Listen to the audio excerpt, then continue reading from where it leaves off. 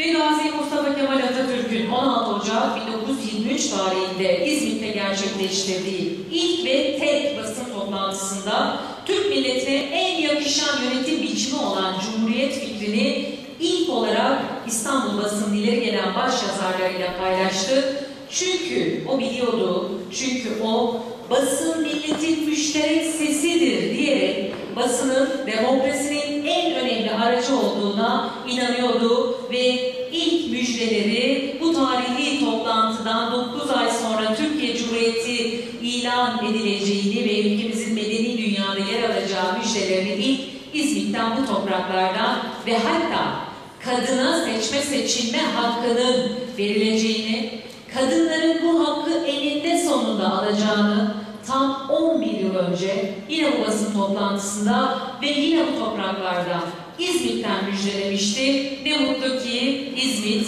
atasının böylesine değerli müjdeleriyle daha da kıymetli hale geldi. Tabii her şeyden önce adet olduğu üzere gençler burada.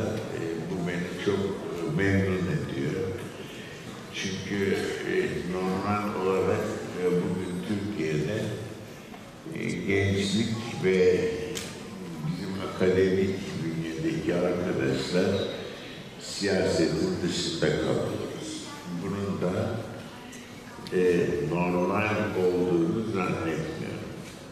Yani bir memlekette üniversite gençliğinin ve akademisyenlerin siyasi hayatın dışında kalmaları, kendilerine aliyene dedikleri Latince bir kelimedir, alienus, yabancı hissetmeleri e, iyi bir durum değildir, tehlikelidir, tehlikelidir.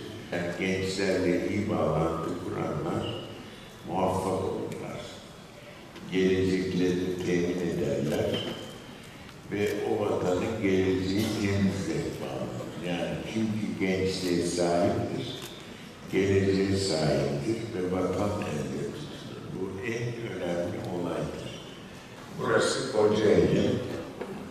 adı üzerinde e, doğrudan doğruya Osmanlı'nın kuruluş devrinde aktif hale gelmiş bir sancak bölgesi ve bir zamanlar buranın tesiri Üsküdar'a kadar gidiyor. Yani Üsküdar Bizans'ın son 20 senesinde hatta 30 senesinde tamamıyla Osmanlıların kontrolünde bölge önemli bir yer. Bunun adı Nikomedia biliyorsunuz.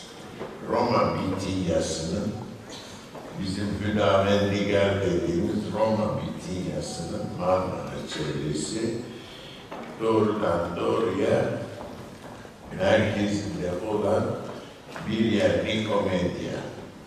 İnşallah kazılar geliştikçe çıkan epigrafik malzemeden, epigrafik malzeme söz konusudur artık çünkü yapılacak şey öbür kayıtlar, kitaplar vesaire, el yazısı şeyler başka alanlarda bulunuyor. Türkiye'nin kütüphaneleri o bakımdan çok zayıf kalmış ama tabii kazılar ilerledikçe Türkiye en zengin bir alan haline.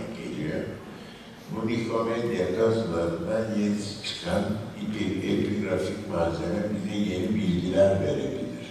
Türkiye'de en büyük kumar hangisidir söyleyin bakayım. Türkler hangi kumarı severler? Ha? Nere? Ne diyor?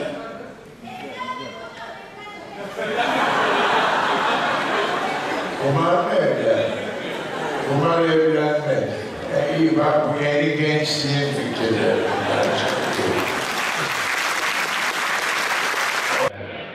Yüzdeyi unutun, o yüzde gramer icabı soruluyor size. Binde bir, binde bir. Önemli bir şey çünkü İkinci Cihan Harbi'nden sonra Fransa'nın yarısından çoğu Almancıydı. Fakat iş sonunda tuttu bir takım bakkala, çakkala.